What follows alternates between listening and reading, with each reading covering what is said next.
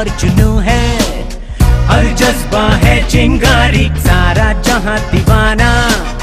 मुट्ठी में दुनिया सारी, जोश है और जुनू है। हर जज्बा है चिंगारी, सुबह सुबह नाम हमारा, हम में भी कुछ बात है। जो ठान लिया, वो कर जाना है, उसमें ही कुछ खास है। ख्वाबों को हकीकत के रंगों से सजाना है। रंगी हकीकत को फिर से पंख लगाना है।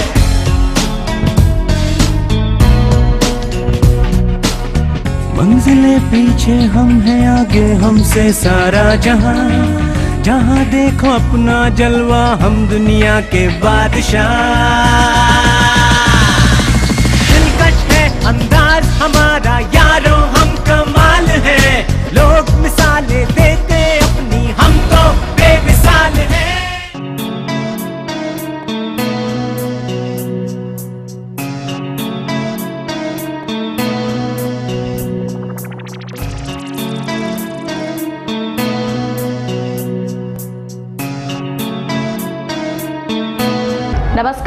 मैं हूँ बैनीवाल और आप देख रहे हैं हलचल इंडिया। बेबाक खबर, तेज असर। आइए नज़र डालते हैं आज की खबरों पर। जनपद सहारनपुर की थाना चिलकाना पुलिस में अभिसूचना विंग की संयुक्त टीम को बड़ी सफलता हाथ लगी है। संयुक्त पुलिस टीम ने नकली नोट छापने वाले गिरोह का भंडाफोड़ किया है। एसपी सिटी विनीत भटनागर व सीओ सदर चौप सिंह के कुशल नेतृत्व में संयुक्त टीम को यह बड़ी कामयाबी हासिल हुई है। पुलिस टीम ने चार शातिर अभियुक्तों को मौके ऐसी गिरफ़्तार किया है, जहाँ पुलिस ने इनके कब्जे ऐसी चौतीस मोबाइल फ़ोन, एक लाख सात हज़ार छह सौ रूपए की नकली भारत करेंसी, चार पेपर पर आठ अदबने नोट व जाली नोट छापने के उपकरण सहित अन्य सामान बरामद किया है। शातिर अभियुक्त मोबाइल फोनों के मदरबोर्ड बदलकर आई चेंज करते थे। एसपी विनीत भटनागर व सीओ सदर चौप सिंह ने पुलिस लाइन सभागार में संयुक्त रूप से प्रेस वार्ता कर अनावरण किया।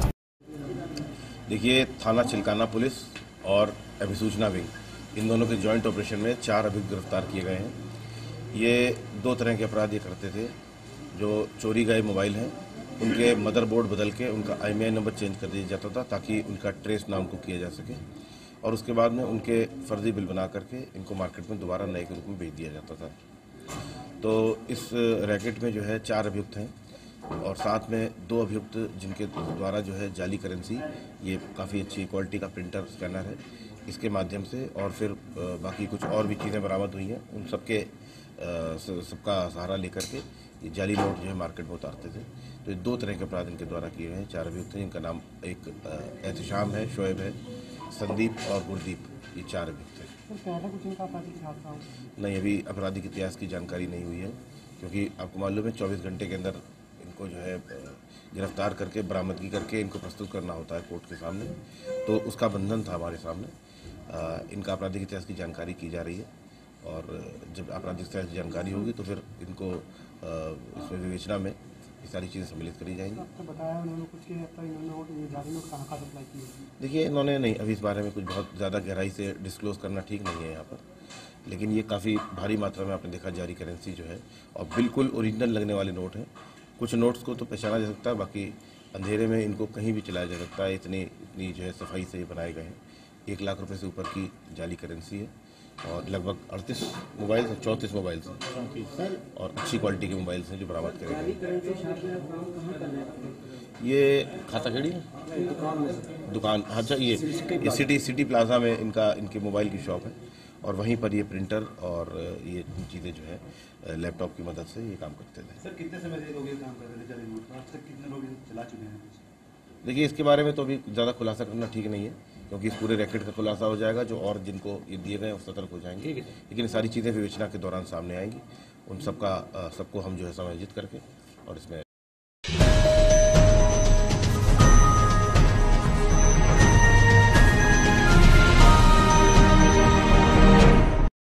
जनपद सहारनपुर के शिवालयों में उमड़ी जलाभिषेक को लेकर श्रद्धालुओं की भीड़। गंगो के बरसी स्थित महाभारत कालीन शिव मंदिर में शिवरात्रि पर्व पर मंगलवार को हज़ारों कावड़ियों के साथ साथ अन्य श्रद्धालुओं ने शिवलिंग पर जलाभिषेक कर मन्नतें मांगी। गौरतलब है कि ब्लॉक गंगो के गाँव, बरसी का महाभारत कालीन लाखों श्रद्धालुओं की अटूट आस्था का केंद्र है। वर्ष में दो बार यहाँ मेले का आयोजन होता है। महाशिवरात्रि पर तीन दिवसीय और शिवरात्रि पर दो दिवसीय मेले का आयोजन किया जाता है। हज़ारों श्रद्धालुओं ने प्रतिष्ठापित त्रिकालदर्शी भगवान शिव शंकर के मंदिर में जाकर लाकर जलाभिषेक करके बेलपत्र, भाँग धतूरा व मिठाई आदि समर्पित किए। कावड़ियों ने हरिद्वार, केदारनाथ, बद्रीनाथ आदि तीर्थ स्थलों से पैदल चलकर जल लाकर जलाभिषेक किया। सड़कों पर बम बम भोले आदि के नारे डीजे के साथ गूंजते नज़र आए। वहीं युवक नाचते गाते जल लेकर आए, जिससे वातावरण शिवमय के साथ साथ सड़कें केसरी रंग में रंग गई, जिसकी छटा देखते ही बन रही थी। बताया जाता है कि मंदिर को द्वापर काल में दुर्योधन ने बनवाया था, लेकिन भीम ने अपनी अमोघ शक्ति से मंदिर को नींव सहित दक्षिण दिशा में घुमा दिया। इसी कारण मंदिर का प्रवेश द्वार पश्चिम तथा निकासी द्वार दक्षिण दिशा में है। बताया जाता है कि इस मुख वाला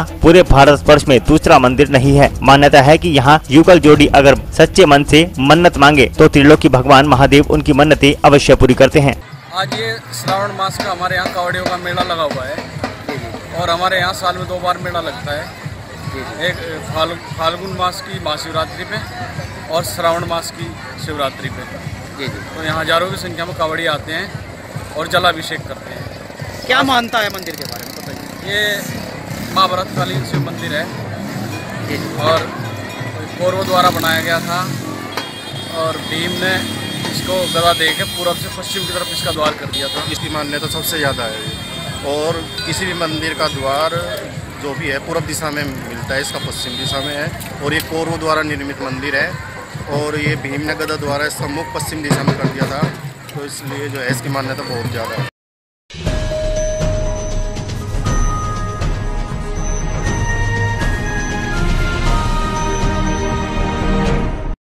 मुजफ्फरनगर जनपद के चरथावल विकास खंड के गाँव ज्ञाना माजरा में स्थित शिव मंदिर पर महाशिवरात्रि के अवसर पर आरती का आयोजन किया गया। आरती का शुभारंभ ग्राम प्रधान कंवरपाल सिंह ने किया। आरती में ग्रामीणों ने शिव की महिमा का गुणगान किया। शिव के नृत्य पर श्रद्धालुओं ने दर्शकों की खूब वाहवाही लूटी। उधर शिव भक्तों की प्रातः काल से ही शिवालयों में लंबी लंबी कतारें लग गई महिलाओं व बच्चों ने मंदिरों में जलाभिषेक करने का सबसे अधिक उत्साह दिखाई दिया। महाशिवरात्रि के पर्व पर नगर व क्षेत्र में शिव के गगनभेदी जयकारों से शिवमय हो गया। महाशिवरात्रि के पर्व पर नगर व क्षेत्र भगवान शिव के गगन भेदी जयकारों से शिवमय हो गया। चरथावल कस्बे के महादेव मंदिर, नगलाराई बिरालसी ज्ञाना माजरा आदि सहित क्षेत्र के सभी मंदिरों में हज़ारों की संख्या में श्रद्धालुओं ने भगवान भोले का जलाभिषेक किया। ज्ञाना माजरा के ग्राम प्रधान कंवरपाल सिंह व बिरालसी निवासी प्रमुख प्रतिनिधि रवि पुंडी ने बताया की सैकड़ों कावड़ियों ने मंदिर में जलाभिषेक किया तो हज़ारों की संख्या में श्रद्धालुओं ने पूजा अर्चना की। वही ग्राम ज्ञाना माजरा के ग्राम प्रधान कंवरपाल की देखरेख में लगे दो दिवसीय कावड़ सेवा शिविर का भी समापन हो गया।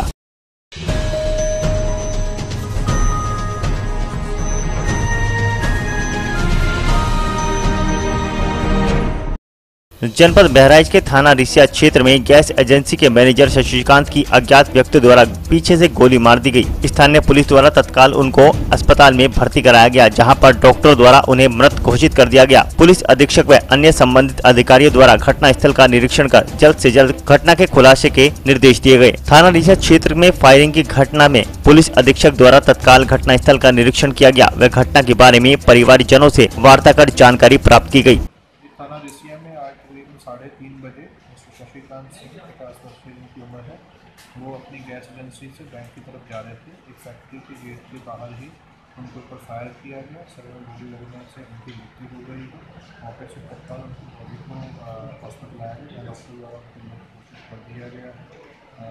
परिजनों से बात करके उनकी तहरीर दी जा रही है। पोस्टमार्टम की कार्रवाई की जा रही है। विवेचना में अग्रिम जो भी साक्ष्य सामने है। उसके विरोध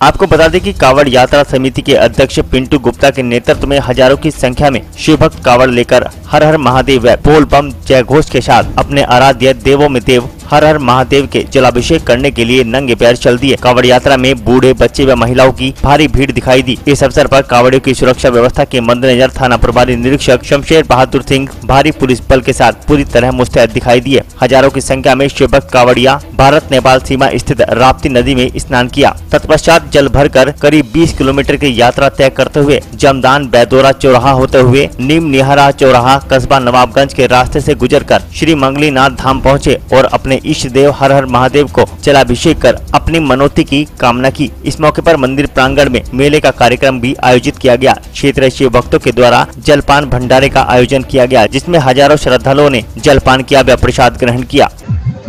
कांवरियों द्वारा, नवाबगंज श्री मंगलीनाथ धाम कांवरिया संघ द्वारा ये जलाभिषेक आज से 20 वर्ष पूर्व हम लोगों ने व्यवस्था शुरू की थी। हमारे कांवरिया संघ के सभी पदाधिकारी, जो संस्थापक सदस्य हमारे साथ यहाँ उपस्थित हैं, श्यामलाल गुप्ता, राजकुमार गुप्ता, उमेश गुप्ता, विजय जायसवाल, घनश्याम गुप्ता प्रमोद अंकित सब, बहुत सारे लोग हमारे साथ हैं। जिन लोगों ने आज से 20 वर्ष पूर्व श्री राप्ती तट होलिया से जलाभिषेक आरंभ किया था और भोलेनाथ की कृपा है, इस बार हम लोग बीसवां वर्ष अपना पूरा कर रहे हैं। कुछ तुष्टियाँ पिछले वर्ष हो गई थी, किन्हीं कारणों से कुछ एक घटना घट गई थी जिसमें हमारे दो कांवरिया बंधु को अपनी जान गंवानी पड़ी थी।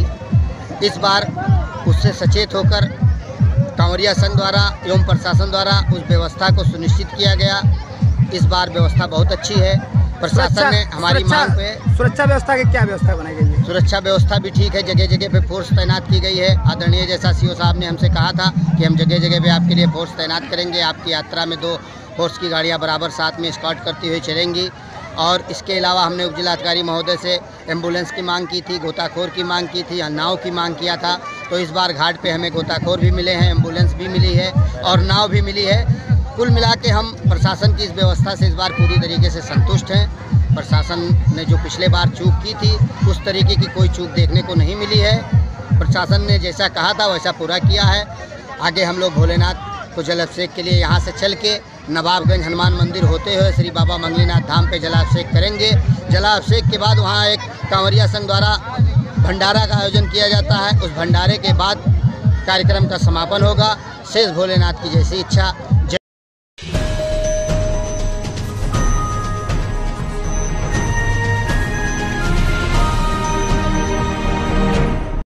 जनपद शामली के कांधला में अज्ञात वाहन की चपेट में आकर बाइक सवार युवक गंभीर रूप से घायल हो गया। राहगीरों की सूचना पर पहुँची डायल हंड्रेड पुलिस ने घायल को नगर के सरकारी सीएससी में भर्ती कराया। चिकित्सकों ने घायल को प्राथमिक उपचार के बाद छुट्टी दे दी। दरअसल आपको बता दें, मंगलवार दोपहर कासमपुर खेड़ी थाना रमाला निवासी विजय बाइक पर सवार होकर अपनी बुआ के यहाँ शामली जा रहा था। जैसे ही बाइक सवार कस्बे के Delhi Saharanpur highway gold public school के समीप पहुँचा तो अज्ञात वाहन ने बाइक सवार को अपनी चपेट में ले लिया, जिससे बाइक सवार का संतुलन बिगड़ जाने से युवक गहरी खाई में जा गिरा और गंभीर रूप से घायल हो गया। राहगीरों ने घायल की सूचना तुरंत डायल हंड्रेड पुलिस को दी। सूचना मिलते ही पुलिस मौके पर पहुँची और घायल को नगर के सरकारी चिकित्सालय में भर्ती करा दिया।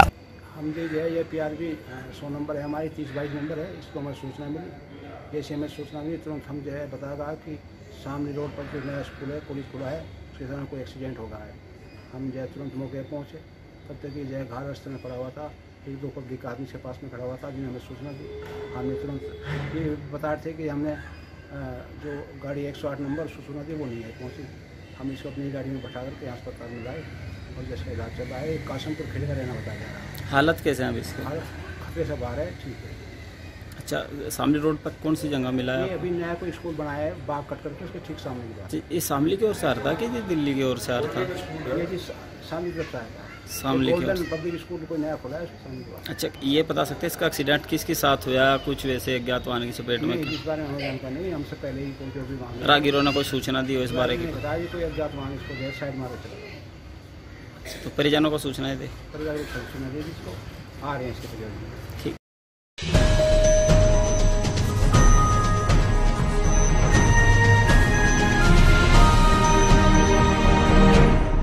उत्तराखंड की राजधानी देहरादून में शिवरात्रि के पर्व पर जलाभिषेक के लिए जन सैलाब उमड़ा। राजधानी में सुबह से ही शिवालयों पर श्रद्धालुओं का तांता लग गया था। नगर से लेकर देहात तक के शिवालयों के मंदिरों पर सुबह से ही लंबी लंबी कतारें दिखाई दी। श्रद्धालु जल लेकर पहुँचे और शिवलिंगों पर जलाभिषेक कर मन्नतें मांगी। वही कांवड़ियों द्वारा हरिद्वार आदि स्थलों से जल लेकर राजधानी लौटे और जहाँ शिवालयों पर जलाभिषेक किया। सुबह से ही राजधानी के मंदिरों को लड़ियों से सजाया गया। महिलाएँ प्रातः से ही अपने बच्चों के साथ मंदिर पहुँच गई। नगर के मुख्य मंदिरों पर दिन भर श्रद्धालुओं का मेला लगा रहा।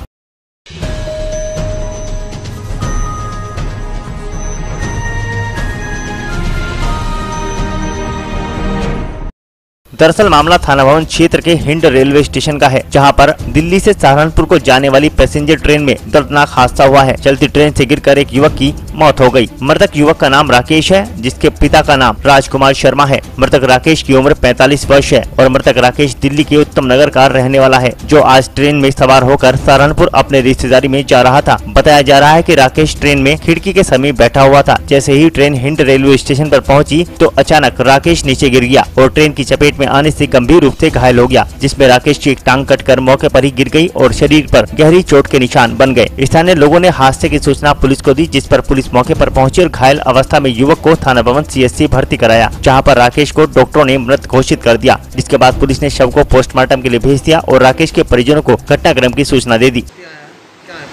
हमारे पास हंड्रेड नंबर पुलिस व्हीकल के द्वारा एक मरीज़ आया था जिसका नाम राकेश है वो राजकुमार शर्मा का लड़का है, वो दिल्ली नगर का रहने वाला है। मरीज़ आया था, उसकी कंडीशन काफ़ी ख़राब थी, उसके दोनों पैर कटे हुए थे। उसके पेशेंट अनकॉन्शस था बीपी पल्स भी नहीं मिल रही थी। हम लोग ने यहाँ पर उसको फ़र्स्ट एड ट्रीटमेंट दिया, उसका सीपीआर किया। उसके बाद हम लोग उसको रेफ़र करने के लिए यहाँ से रेफ़र करे थे, मुजफ्फरनगर जिसके अभी राजस्थान में नहीं, यहीं पर इसकी अभी एक्सपायर हो गया घर वालों को सूचना दी गई? हम लोग ने इसे घर वाले को फ़ोन करके घर वाले को सूचना दे दी है। घर वाले यहीं पे आके अपने पेशेंट का बॉडी रिसीव यहीं से करेंगे। हम लोग ने पुलिस को भी सूचना दे दी है यहाँ से। क्या कोई पहचान पत्र वगैरह किस आधार पर इसकी शिनाख्त? नहीं इसके घर वालों को हम लोग ने मोबाइल पर फ़ोन किया तब इसकी हमने शिनाख्त हुई। नहीं तो ऐसे तो जब पेशेंट हमारे पास जो पुलिस लेके आए थे उन्होंने तो कोई ना नाम बताया ना कुछ बताया। हमने फिर यहाँ से कॉल करके पूछा कि मरीज़ का क्या नाम है क्या है? उसके बाद हम लोग ने घर वाले को सारे खबर दे दी मरीज़ के जो भी रिलेटिव है वो वहाँ से यहाँ पे आ रहे हैं। जी हमको सूचना मिली कि हिंड पुड़िया पे एक आदमी दोनों पैर कटे हुए पड़े हैं। मौके पर हमारे गए। पब्लिक की उससे सहायता से उसको अपनी गाड़ी में तीस पैंतीस नंबर से सरकारी हॉस्पिटल में एडमिट कराया। जिसके दोनों पैर कटे हुए थे बुरी हालत में था ज़िंदा था। क्या नाम है सर? इसका है राकेश सनोप राजकुमार शर्मा आर उत्तम नगर नई दिल्ली। पता नहीं लगा किस तरह की नहीं ये नहीं हमको पता चला ये मुझे लगा या तो खिड़की में बैठा हो नींद आ गई हो। कैसे गिरा इसका मालूम नहीं है लेकिन हम वहाँ से दोनों टांग कटी हुई थी। अपनी गाड़ी से लेके इसको सरकारी हॉस्पिटल में ले गए। सर ये भी बता रहे थे कि यहाँ पर डॉक्टरों ने कोई वो किया वो तो इतनी लाने में थोड़ी सी वो कर ही देते हैं। किसी ने सहयोग भी नहीं स्टेज चरवा एक आए थे वो। एंबुलेंस नहीं पहुँची वहाँ। फिर हम अपनी गाड़ी से ही लेके उसको तुरंत हमने किसी का वेट नहीं किया अपनी तुरंत गाड़ी में रखवाया। रख कर तुरंत अब क्या हालत है मरीज़ की? अब अंदर गया था जी मैं तो अपना गाड़ी में लग गया था। जी वो सीरियस है। अंदर कर दिया था हमने सीरियस बता रहे थे डॉक्टर साहब।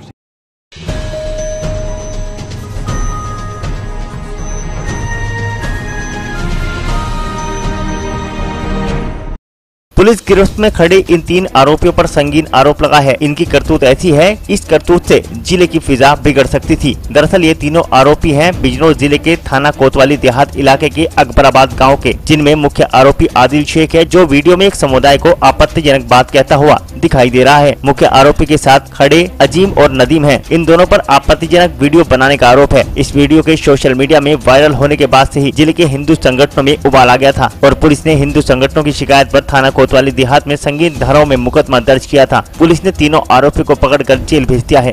जैसा कि आप लोगों को जानकारी है कि कल शाम से एक वीडियो वायरल हो रहा था जिसमें एक धर्म विशेष के प्रति कुछ आपत्तिजनक बातें की गई थी और जिससे कि दो धर्मों के बीच में सांप्रदायिक सौहार्द बिगड़ सकता था। और इस चीज़ का वीडियो जब वायरल हुआ तो थाने में जब इसकी सूचना प्राप्त हुई तो थाना इंचार्ज ने तत्काल कार्रवाई करते हुए इसमें तीन व्यक्तियों को गिरफ़्तार किया, जिसमें मुख्य व्यक्ति आदिल है, जो अकबराबाद गाँव का रहने वाला है। और इसके द्वारा ही इस तरह की बातें की जा रही है और उसके सहयोगी दो लोग, अजीम और नदीम। ये जो भी है जो कि साथ में सहयोग कर रहे हैं और वीडियो बना रहे हैं। और इन्होंने इनको वायरल करके एक तरीके से, पूरी तरीके से जनपद बिजनौर का और आसपास क्षेत्रों का सांप्रदायिक सौहार्द बिगाड़ने की कोशिश की। इस संबंध में इनके खिलाफ संबंधित धाराओं में अपने प्रवेश करके इन्हें जेल भेजा जाएगा।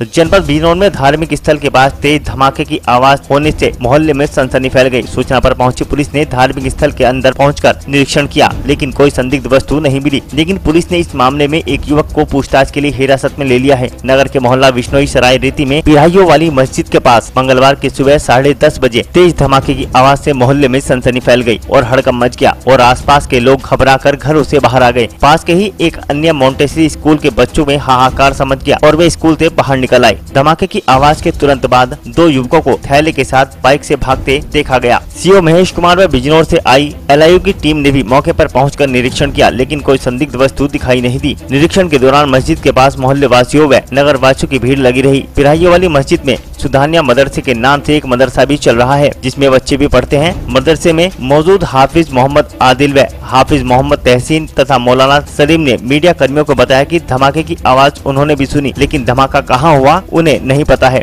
उधर आसपास रहने वाले मोहल्ले वासियों ने बताया कि धार्मिक स्थल के पास तेज धमाका हुआ और मदरसे से निकलकर दो युवक थैला लेकर बाइक से भागते हुए दिखाई दिए। बाइक से भागने वाले युवक कोतवाली देहात क्षेत्र के बताए जा रहे हैं। पुलिस ने संबंध में मदरसे की देखरेख करने वाले एक युवक सलीम को पूछताछ के लिए हिरासत में लिया है और मामले की जाँच शुरू कर दी है। थाना नगीना लगता है और यहाँ तराई वाली मस्जिद भी है, मदरसा भी है। दोनों चीज़ें हैं यहाँ पर। और दोपहर में बताया जाता है बहुत ज़ोर से छत पर धमाका हुआ है और अभी उसकी हम छानबीन कर रहे हैं। अभी तक पता नहीं चल पाया किन कारणों से हुआ है लेकिन एक लड़का खड़ा हुआ था जब धमाका हुआ उसकी शनाख्त की गई है। वो कदबाली देहात का रहने वाला है। हमारी एक टीम गई है उसे लेने के लिए। तब तक हम इसकी छानबीन कर रहे हैं तलाशियाँ की ले रहे हैं। शायद कोई सा, साक्ष्य हमें प्राप्त हो। अभी तक तो ऐसे कोई साक्ष्य प्राप्त नहीं हुआ। हाँ ये मदरसा भी मस्जिद भी दोनों कौन सी कहलाती है? पिराइया वाली। अच्छा यहाँ पर कितने नाबीना हैं? चार हैं। चार?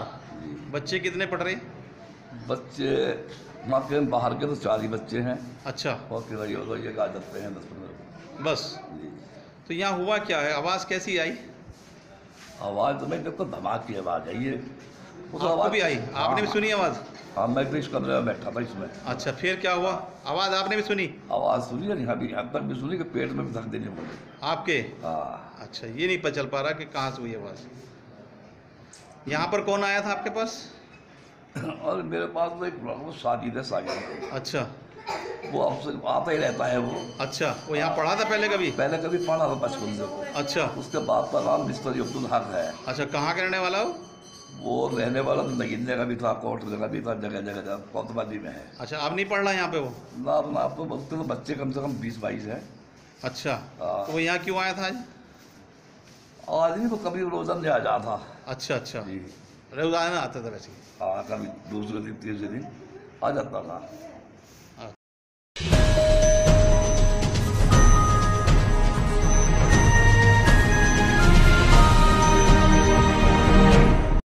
शिवरात्रि के अवसर पर भगवान शिवशंकर का जलाभिषेक करने के लिए संबलेड़ा स्थित प्राचीन सिद्धपीठ पंचमुखी महादेव मंदिर पर सोमवार की शाम से ही शिव भक्तों की भारी भीड़ जमा हो गई थी। इस दौरान मंदिर परिसर में हरिद्वार में गोमुख से गंगा जल लेकर आने वाले शिव भक्तों का तांता जुट गया तथा कावड़ियों ने सुबह से ही त्रयोदशी तिथि में भगवान आशुतोष का जलाभिषेक प्रारंभ कर दिया। त्रयोदशी प्रारंभ होते ही शिव भक्तों की लंबी लंबी कतारें लग गई तथा कावड़ियों के साथ साथ स्थानीय श्रद्धालुओं ने पूरे जोश ऐसी मंदिर में स्थापित पंचमुखी शिवलिंग आरोप जलाभिषेक कर भगवान शिव की विशेष पूजा अर्चना शुरू कर दी। इस दौरान कावड़ियों की भारी भीड़ द्वारा किए जा रहे बम बम भोले, हर हर महादेव के उद्घोष से संपूर्ण वातावरण भक्ति में हो गया। इस दौरान भीड़ में शामिल महिला, पुरुषों व बच्चों ने भगवान शिव को जलाभिषेक के साथ साथ भाँग, धतुरा पंचमेवा व बेल पत्र व अंक पत्र भी अर्पित किए। वहीं दूसरी तरफ़ मंदिर प्रबंध समिति द्वारा मंदिर परिसर में श्रद्धालु व शिव भक्तों के लिए भंडारे का आयोजन किया गया। ये वर्ल्ड का तीसरा शिवलिंग है और जो पहला शिवलिंग है वो नेपाल काठमांडू में है और दूसरा राजस्थान मेवाड़ में है और तीसरा मुजफ्फरनगर में संबरेड़ा गाँव में है। और ये पंचमुखी शिवलिंग है कसौटी पत्थर का शिवलिंग है। कसौटी पत्थर में पंचमुखी और एकादश रुद्र बने हुए हैं। कब स्थापित हुआ था मंदिर? ये? संबत पंद्रह पंद्रह सौ चौदह में स्थापना हुई थी। जो यहाँ के राजा थे हुकूमत राय उन्होंने इस मंदिर की स्थापना कराई थी। यहाँ पर कब कब जल चढ़ता है और कितने कावड़िए जलाभिषेक कर लेते होंगे? यहाँ पर दो बार जल चढ़ता है, एक महाशिवरात्रि और एक श्रावण माह में जो शिवरात्रि आज है, दो शिवरात्रियों में जल चढ़ता है विशेष। बाकी मंदिर में तीन प्रोग्राम है विशेष, एक जन्माष्टमी का विशेष उत्सव मनाया जाता है और यहाँ लगभग हज़ारों की संख्या में लोग जल चढ़ाते हैं।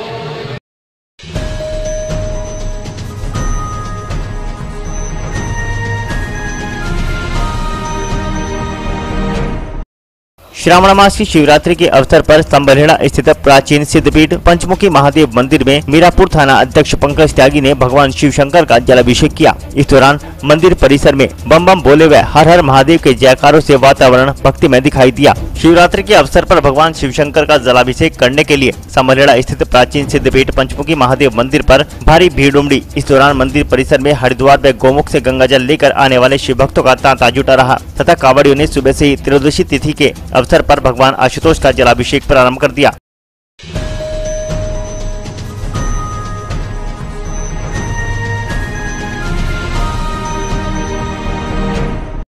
मीरापुर निवासी अधिवक्ता ने पत्नी व ससुराले के उत्पीड़न से तंग आकर सुसाइड नोट लिखकर गंगा बैराज पर आत्महत्या करते हुए पत्नी समेत ससुराले को जिम्मेदार ठहराया था। पुलिस ने मृतक के भाई की तहरीर पर मृतक की पत्नी समेत ससुराले के विरुद्ध मुकदमा दर्ज कर लिया है। मीरापुर के मोहल्ला दक्षिणी मुश्तरक निवासी राहुल शर्मा, पुत्र धन प्रकाश शर्मा ने मीरापुर थाने में मुकदमा दर्ज कराया है की गत पच्चीस जुलाई को उसके अधिवक्ता भाई मोहित शर्मा, पुत्र धन प्रकाश शर्मा ने अपनी पत्नी मेनका, उर्फ़ मोन्टी शर्मा व सास कुसुम लता पत्नी ब्रजभूषण शर्मा साली इंदु शर्मा, छाया शर्मा, रोमिता शर्मा तथा साले रजत शर्मा पुत्र ब्रजभूषण शर्मा निवासी डाकघर के सामने थाना नई मंडी, मुजफ्फरनगर तथा मुँह बोले चाचा शाहपुर थाना क्षेत्र के गाँव किनौनी निवासी राजेंद्र चौधरी के आए दिन उत्पीड़न से तंग आकर उक्त लोगों को अपनी मौत का जिम्मेदार ठहराते हुए सुसाइड नोट लिखकर गंगा बैराज के पुल पर गंगा से कूदकर आत्महत्या की थी। आरोपी की मृतक अधिवक्ता को उसकी पत्नी समेत ससुरालियों व मुँह बोले चाचा आए दिन परेशान करते रहते थे तथा उक्त लोगों ने उसके भाई को जान से मारने की धमकी देते हुए कई बार रुपयों की मांग भी की थी, जिससे परेशान होकर अधिवक्ता मोहित ने उक्त लोगों को अपनी मौत का जिम्मेदार ठहराते हुए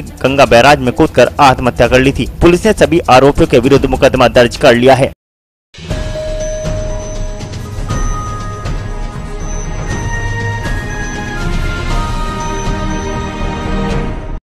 जनपद मुजफ्फरनगर के मीरापुर थाना क्षेत्र के मोहल्ला दक्षिणी मुस्तर्क निवासी अधिवक्ता मोहित शर्मा का शव मिलने के बाद सोमवार को उसके परिजन अंतिम संस्कार करने के लिए गंगा बैराज पर पहुँच गए। आरोप है कि इस दौरान तीन कारों में सवार होकर आए मृतक अधिवक्ता के ससुराल पक्ष से साला रजत शर्मा, सास कुसुम लता, साली इंदु शर्मा, रोमिता व छाया निवासीगण निकट डाकघर थाना नई मंडी, मुजफ्फरनगर तथा मुँह बोले चाचा, शाहपुर थाना क्षेत्र के गाँव किनौनी निवासी राजेंद्र चौधरी व नई मंडी थाना क्षेत्र के मोहल्ला शिवपुरी निवासी अमित शर्मा ने घर में घुसकर मृतक अधिवक्ता की पत्नी मेनका उर्फ़ मोन्टी के साथ मिलकर घर पर मौजूद मृतक की बहन इंदु शर्मा व भतीजी स्वर्णा शर्मा सहित अन्य परिजनों के साथ मारपीट शुरू कर दी। आरोप है की जब अधिवक्ता की बहन इंदु ने उक्त लोगों का विरोध किया तो उन्होंने जान से मारने की नियत से गला घोट दिया तथा घर की महिलाओं से उनके सोने चांदी के आभूषण व कीमती सामान सहित मृतक अधिवक्ता मोहित शर्मा की आई टेन कार भी लूट ली और मृतक अधिवक्ता के तीन वर्षीय पुत्र अभिराज उर्फ़ मन्नन शर्मा का अपहरण कर जान से मारने की धमकी देते हुए फरार हो गए। मृतक अधिवक्ता के भाई सुधीर शर्मा ने थाने में उक्त आरोपियों के विरुद्ध संगीन धाराओं में मुकदमा दर्ज कराया है।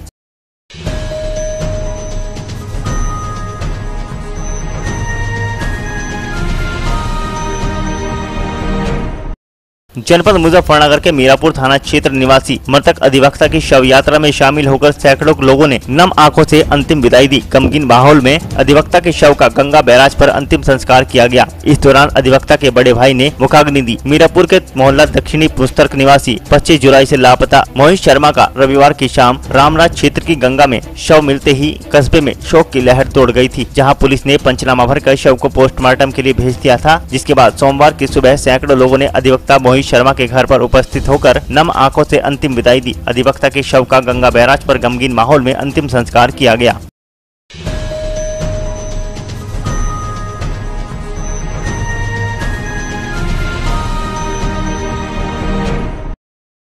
हलचल इंडिया में आज के लिए इतना ही। आप देखते रहिए हलचल इंडिया।